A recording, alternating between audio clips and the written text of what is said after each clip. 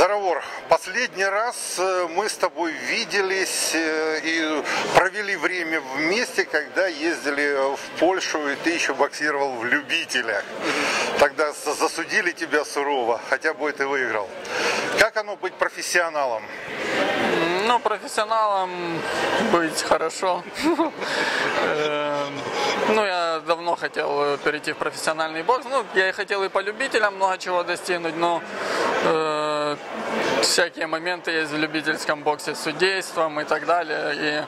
И я решил раньше перейти в профессионалы, чем изначально думал. И перешел, ну вот уже провел 7 боев и планирую повышать уровень оппозиции, хочу повышать. Не все от меня зависит и выходить на самый высокий уровень. Заравор, а, вечный вопрос, да, чем отличается любительский бокс от профессионального? Ты еще как бы память о любительском боксе у тебя свежа. Угу. Что ты можешь об этом сказать? В чем различие? Ну, профессиональный бокс, ну, более жесткий, перчатки другие, э, раундов больше. Ну, любительский бокс тоже жесткий, хочу сказать, тоже. Ну, там за три раунда, ну, совсем другая просто по, по подготовке, по всем этим моментам э, очень отличается. Я говорил, всегда утверждал, что разница между любительским и профессиональным боксом, в любителях ты выходишь выигрывать, в профессионалах убивать. Согласишься?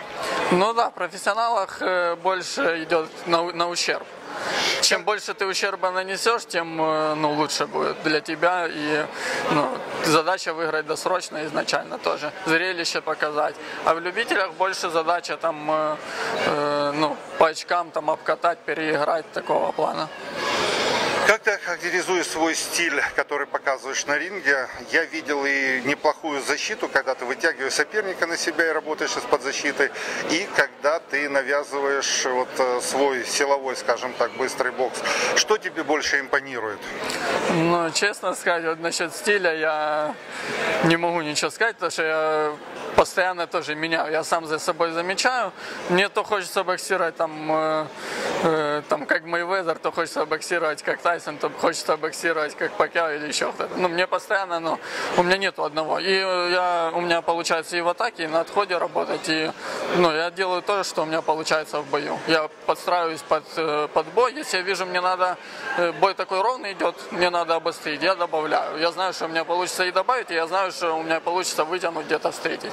Ну, из-за этого у меня своего именно такого там атакующий стиль или контратакующий нету такого.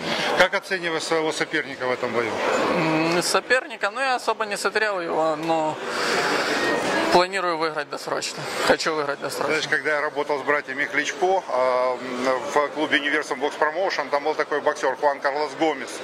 И он как-то приезжает на тренировку, буквально через минут 15 выходит, садится в свой Мерседес и уезжает. И Фрид Зунек бежит и говорит, зачем я показал ему кассету сопер, записи боев соперника. Он посмотрел, сказал, я через я за неделю до боя приду подготовлюсь. Как ты реально вот оцениваешь, насколько вот на сегодняшний момент э, твое общение с менеджерами, вот э, твоя чуйка боксерская говорит, насколько вот быстро ожидает тебя продвижение, либо это будет трудно, либо, черт возьми, ничего не известно? Ну вот, пока что я вообще ничего не могу сказать. Все может быть из-за того, что карантин сейчас, может быть еще какие-то моменты. Ну, пока и визы нету. И, ну, хотелось бы, конечно, чтобы быстрее это все решилось. Мы уже ну, выходили на хорошие большие бои и там показывать, показывать себя, ну, что мы чего-то достойны. Удачи тебе в предстоящем поединке Спасибо. И ждем от тебя побед.